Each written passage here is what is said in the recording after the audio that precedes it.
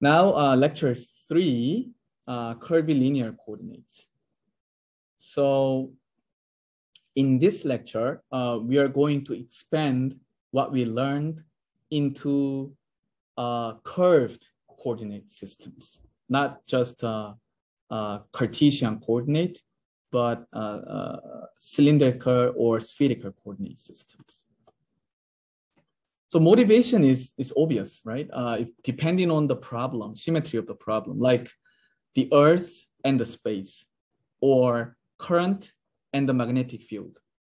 Uh, sometimes Cartesian coordinates are um, inappro inappropriate, or sometimes it just make problem more complicated.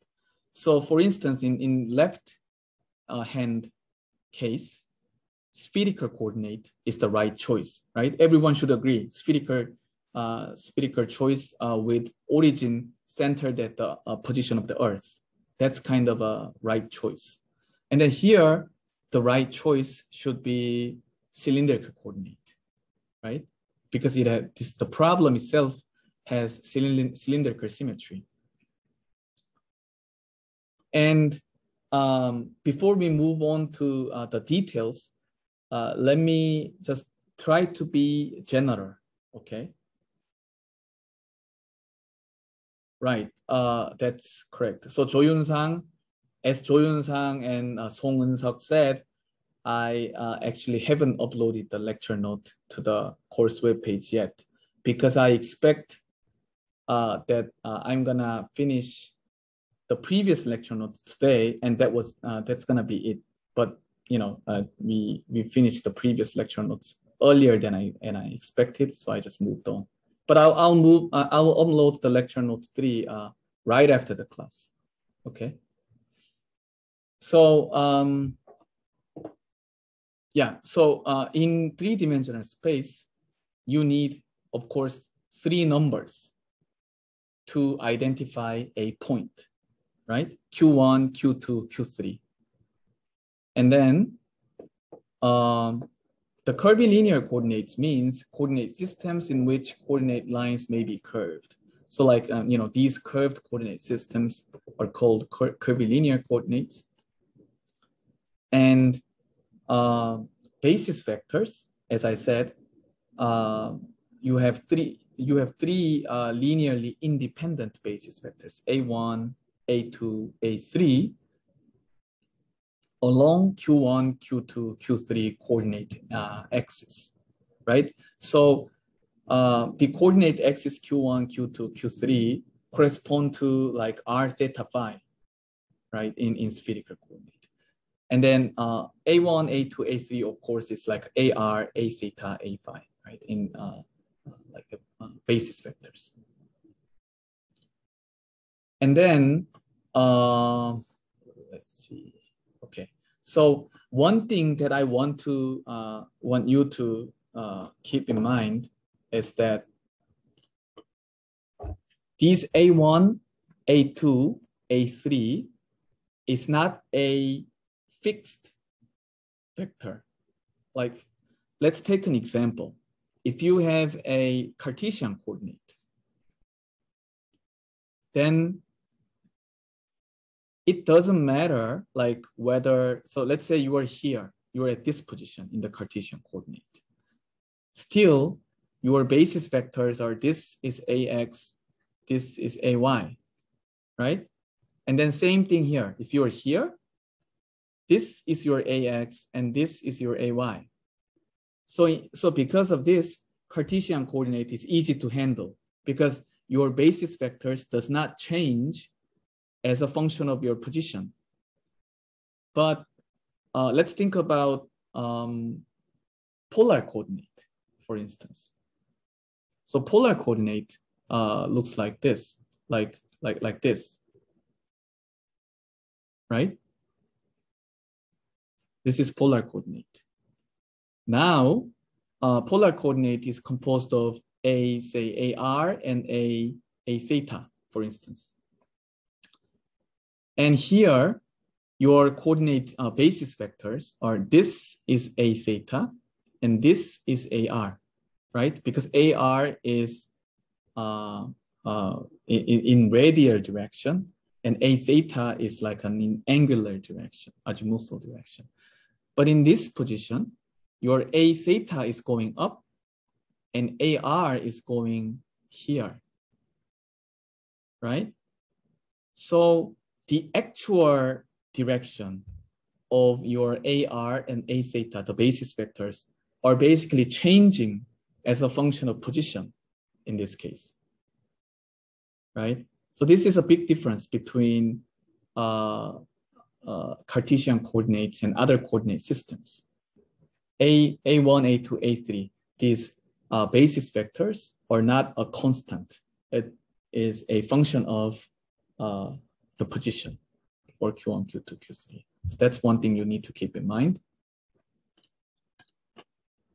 And then to make our uh, discussion simple, uh, we want to just focus on orthogonal coordinate system.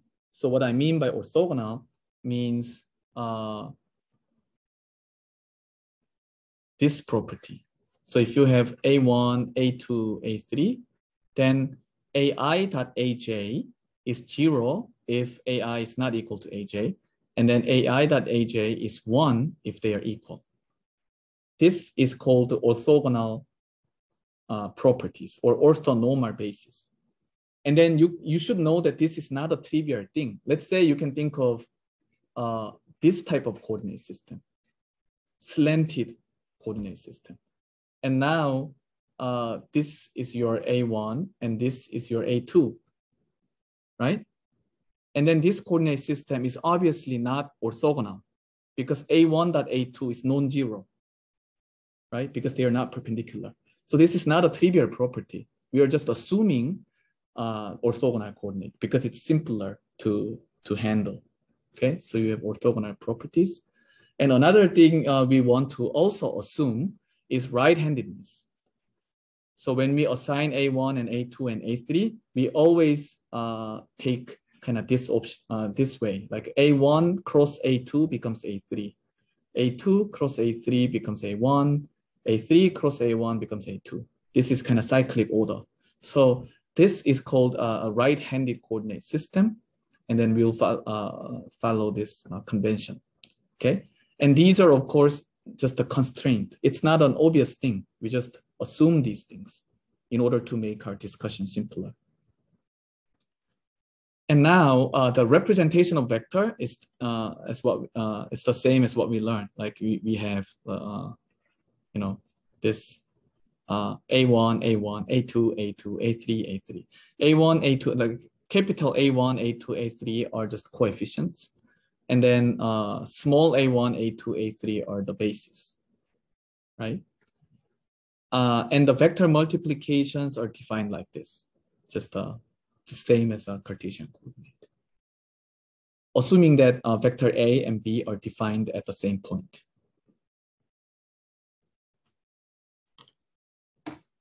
Okay, so I guess this so far things are not uh, too complicated. But uh, if uh, let me know if if you have any any question uh, up to this point. I think up to this point I just gave you just definitions, right? So there's nothing much you you want to ask. So now, uh, okay, Okay, Kim Junmo asks, uh, is always orthogonal system coordinate is right-handed coordinate too? No, it's not the case. So, uh, and this is also a very good question. So what he asked is that this property, this property and that property always goes together? No, right? So it's, uh, you know, independent thing. So we can just, uh, we are just assuming that both of these are applied.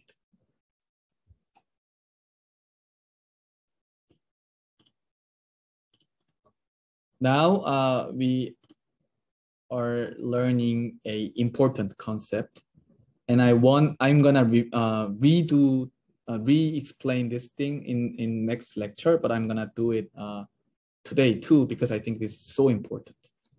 So again, this is really important thing. So please uh, uh, keep concentrated So what this slide says that Q1, Q2, Q3 are not necessarily be length. Okay, people just um, easily assume that Q1, Q2, Q3 are lengths, but it's not the case. So uh, differential length, like a length, uh, can be achieved uh, by h multiplied by dq.